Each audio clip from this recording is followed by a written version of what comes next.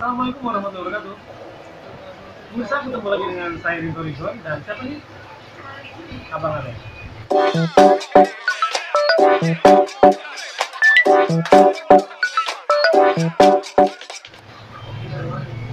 Pada kesempatan kali ini saya dan Abang Ale mau memperbaiki akuarium. ya? Jadi akuariumnya lantainya pecah bisa. Tadi sudah saya bersihkan, sudah saya eh, lepaskan lantainya dan sekarang jadilah seperti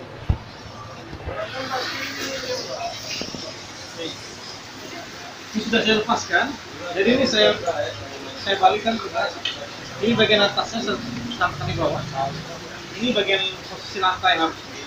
Jadi akan kita perbaiki. Tapi sebelumnya ini sudah saya bersihkan, sudah saya kikis semua bekas lemnya. Ya kan, Pak? Ya. Ini sudah saya kikis semua. Dan sudah saya lap. Sekarang tinggal kita proses pengeleman. Bang Beng. Nah, ini saya pakai eh, lem merek Daun. Jadi harganya sekitar 38.000 sampai 40.000. Eh, saya selalu pakai merek ini. Karena lebih bagus kalau menurut. Nah, untuk membersihkan waktu, langsung kita akan mulai proses pengeleman. Tapi sebelum saya lanjutkan videonya, saya ingat kembali pada pemirsa yang belum subscribe channel ini, silahkan subscribe. Klik tombol merah tulisan subscribe di pojok, bawah, di pojok kanan bawah, dan jangan lupa aktifkan tombol loncengnya. Ya Pak ya? Oke. Kita main.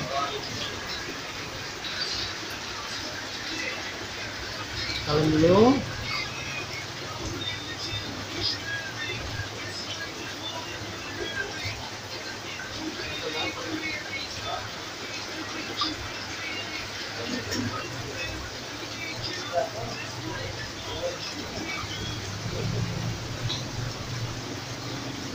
Ya.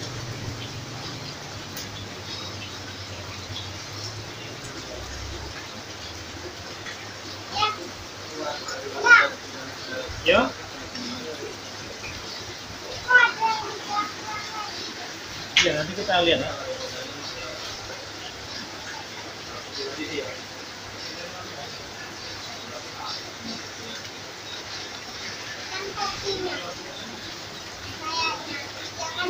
Iya. ya.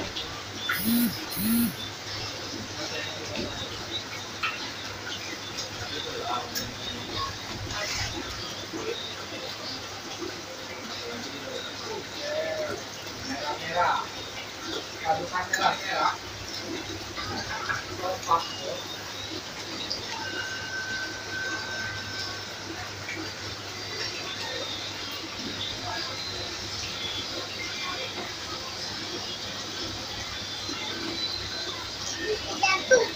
tuh. Apa nanti kita rapikan sebelum jalan ya. Nah, pemirsa.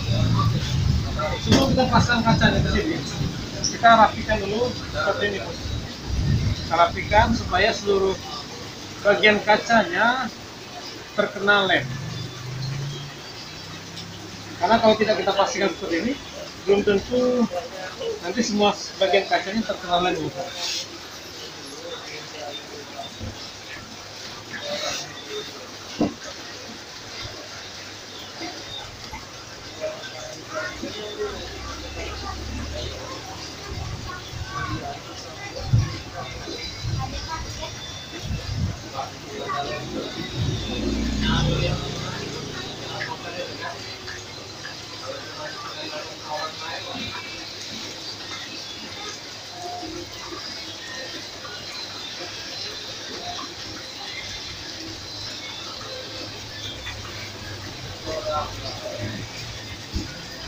Nah,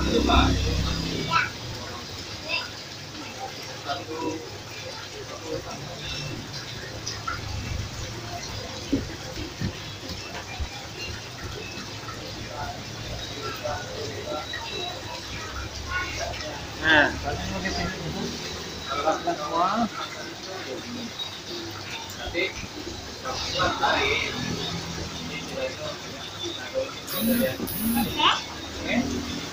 Nanti Oke.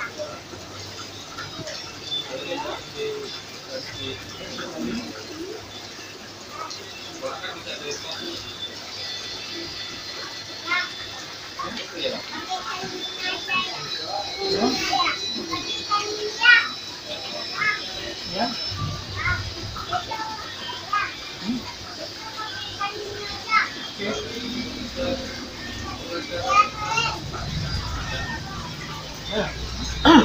selanjutnya tinggal kita pasang eh kaca. Bang, tolong ambil kalakpan juga, Bang. Sama cutter ya. Sama gunting, gunting. Iya. Ya, kita pasang ini.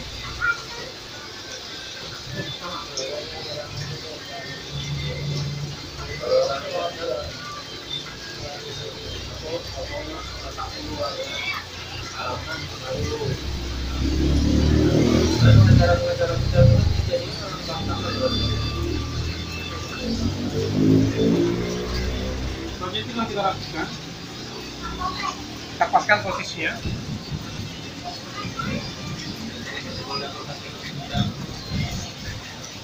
Ini kita rapikan. Jadi kuncinya bisa, kalau mau melihat uh, akuariumnya masih ada kemungkinan bocor atau tidak, kita lihat di sisi sini.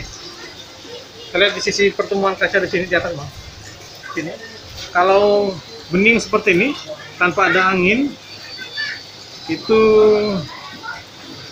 eh, kemungkinan besar tidak bocor lagi.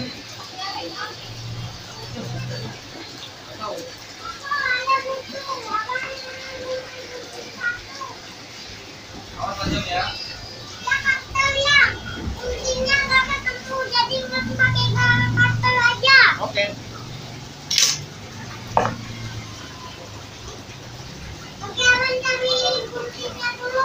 Oke.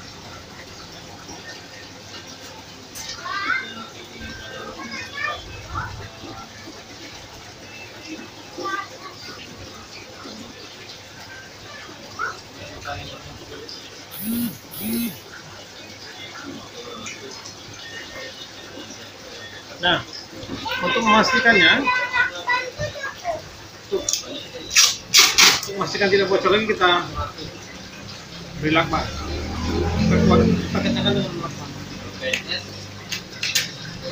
Ya kalau kalau itu ginteri pakai lakban aja nanti kalian ini mah ya ya kalian masukkan masuk ikannya ya ya kalau lah selesai dikasih banyak lak lakbannya ya ya Oke. siap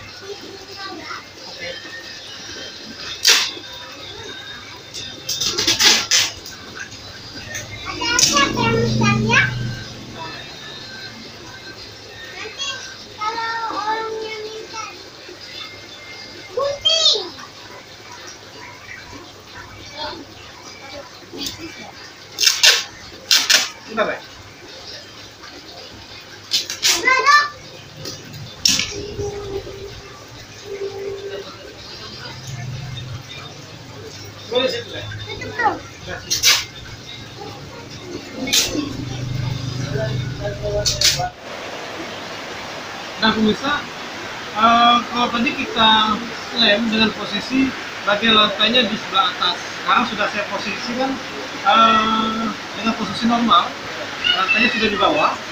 Dan untuk memastikan akuarium tidak bocor, saya akan tembak lagi di bagian dalamnya, di pojok-pojok.